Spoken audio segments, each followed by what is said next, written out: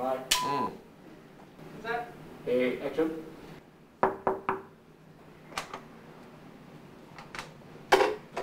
阿里斯巴 Yes. CPIB。Action.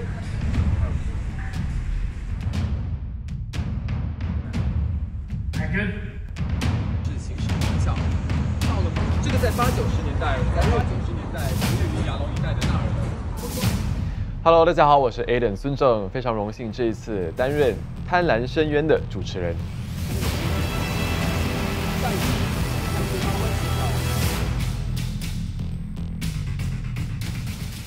Okay, and. Yeah, right. Action.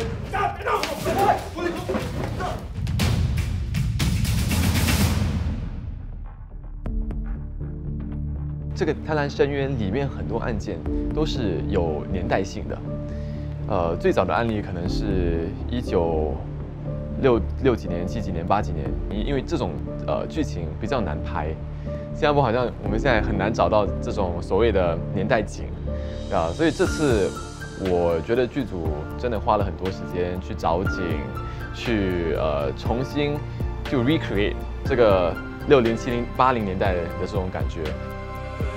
卖东西，求求你！我觉得我相信很多国人跟我一样，就是哎，贪污调查局，新加坡不是没有贪污吗？不是很少很少会出现贪污这个东西。所以我自己其实，在还没有拍这个节目之前，我也很坦白的说，就我对新加坡和贪污，呃，之前的贪污贪污历史啊，其实是不是很不是很清楚的。虽然从事非法放贷，但阿龙山却能逃过警方的突击，实际。